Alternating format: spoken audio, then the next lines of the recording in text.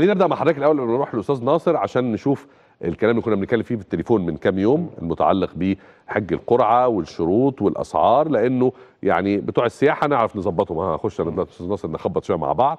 لكن فيما يتعلق بالقرعة هم دول أهالينا اللي إحنا محتاجين إن إحنا نطمنهم أكتر. فمعلش حضرتك تقول لنا تاني آخر ما توصلنا إليه في حج القرعة. تمام. هو طبعا بدايه إحنا بنتكلم عن حج قرعة الجمعيات ال- الأهلية. تمام. اللي مخصص ليها 12000 حج القرعة تمت الحمد لله يوم الخميس ال- الماضي وتم اختيار ال 12000 حج بيمثلوا 27 محافظة مختلف محافظات الجمهورية. كويس.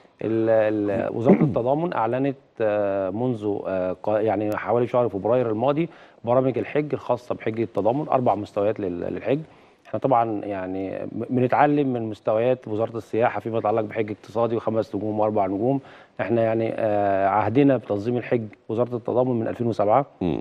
بننظم حج من خلال جهة واحدة بس اللي هي المؤسسة القومية لتيسير الحج والعمرة. كيان واحد بيمثل حج الجمعيات. تمام. كان زمان المتبع كان كل جمعية بتجمع 50 فرد بتعمل برنامج لوحدها وكانت بتشرف عليه وزارة التضامن مجرد إشراف فقط ولا صحيح. غير إنما الوزارة حطت نظام جديد من 2007 وكل عام بيشهد تطو- تطوير.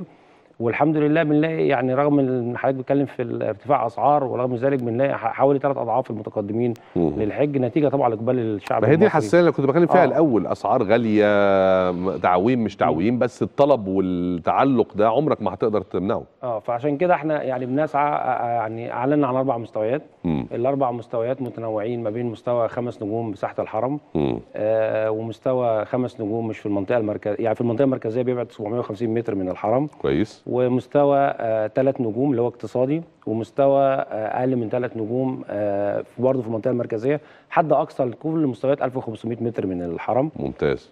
ده بالنسبة لمكة و300 متر في في المدينة. إحنا ما بنحبش نخرج بره المنطقة المركزية لأن ال- ال- الحج المصري بطبيعته بيحب يبقى الحرم قدامه في اتجاه واحد. بنبعد برضه عن ما ناخدش فنادق فيها مطالع نهائي عشان ما يبقاش فيها إراج لأي حج كويس. يبقى طريق ستريت مستقيم خصوصا إن. حج الق- القرعة بيبقى غالبا غالبا من كبار آه، السن. من كبار السن. دي, دي حقيقة. عشان كده إحنا بنسعى إن إحنا حتى نوفر آه، كراسي متحركة لكبار السن من خلال الفنادق. تمام. وزارة التضامن العام الماضي طيب عشان المشاهدين اللي بيسمعونا دلوقتي سواء اللي يعني جه دورهم في القرعة أو اهاليهم أو زغهم عشان يفهموا الوضع بالظبط هيقول لك طب أنتوا بناء على إيه خدتوا ال ال الإجراءات دي وبناء عليه حددتوا الأسعار دي؟ يعني دول برضو المعايير اللي ساهمت في الوصول للقرارات دي. هو طبعا إحنا بنينا على على رحلة العام الماضي. آه. العام الماضي كان في تقييم للحج التضامن كان يعني الحمد لله شهد موسم متميز فيما يتعلق بموسم حج العام الماضي. مم. كان كله برضه أربع مستويات. بنينا نفس ال- الفكرة صحيح. هذا العام. بدأنا بدري تعاقدنا م- اعتبارا من شهر أكتوبر الماضي. إن إحنا انتهينا على فكرة كل تعاقداتنا خاصة بموسم الحج في شهر يناير.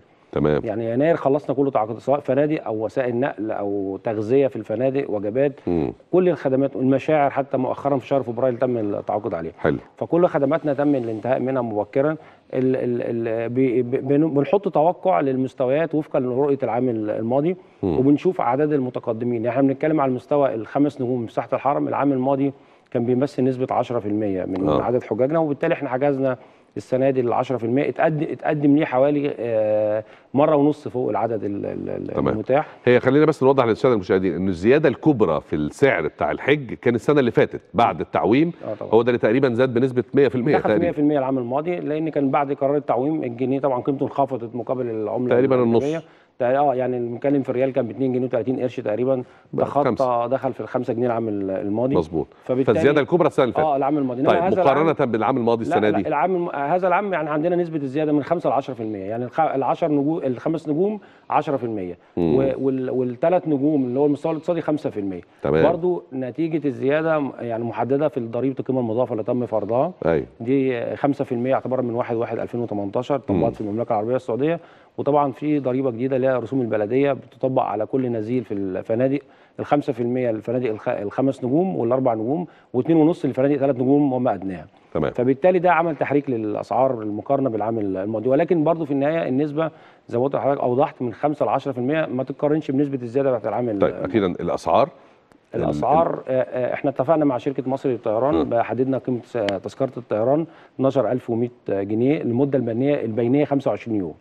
لا هو الحاج ملوش. علاقة بالتفنيطه آه. في النهاية. ال- ال- ال- المستوى المميز آه، الأول المميز ست- الأول 96 900 96000 جنيه آه و900 يعني حوالي حوالي 97000 97000 المستوى الثاني ده اللي هو في الح... اللي هو خمس نجوم على ساحة الحرم هو شغال. خمس نجوم على ساحة آه الحرم المستوى الثاني 82 700 كويس. المستوى الثالث اللي هو اقتصادي 72 500 المستوى الرابع اقتصادي 63 600 ده الأقل خالص. ده الأقل خالص. 63 ال 63 600 ده فندق مصنف آه، نجمتين يبعد عن الحرم ب 1300 متر آه، ده الحد الأقصى. ده الحد الأقصى. ما ينفعش حد يبقى لا بعد لا. 1300 لا لا متر. مفيش لا لا. إحنا حاطين معايير قبل التعاقد حد أقصى 1500 متر.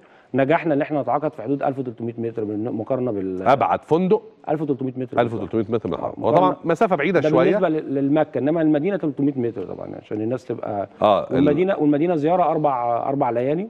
كويس. البرنامج شامل المدينة زياره أربع ليالي البرنامج شامل وجبات غذائية من خلال الفنادق فطار وغدا مم. طول مدة ال- الرحلة البرنامج شامل عودة من مطار المدينة أو ذهاب من عن طريق مطار المدينة حسب خط سير الرحلة ممتاز السعر ده سواء 63000 أو كذا أو كذا وصولا لل 97000 شامل كل شيء شامل كل لن شيء. يدفع الحج بعد كده جنيه واحد لا هو فلوس الهدي فقط لا غير اللي هو لا الهدي آه، ده آه، هدي آه، لكن آه، ما تمام. غير ذلك ذلك بالرحله ملوش علاقة تمام. ممتاز تمام. ممتاز سامع الأسعار